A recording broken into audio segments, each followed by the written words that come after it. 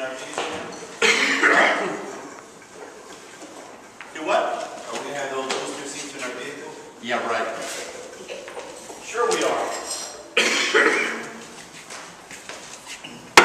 so, wearing your vehicle means just that.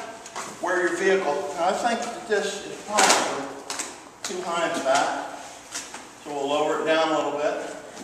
But this is what happens whenever you turn.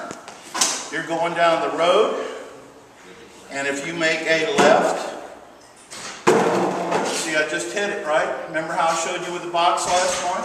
This is something that highlights it a little bit better. You don't want to do that. You just knock things over. So consequently, what you want to remember is, and I'm going to say this again, when you get into a situation where you're hit, where you're going to hit it, and you're turning left, turn right back to the right again, and you'll go away from it. See how I turn right back right? And this will highlight it better. So make sure that you look behind you in your mirrors. What else did we talk about? Did we talk about backing up? Did we?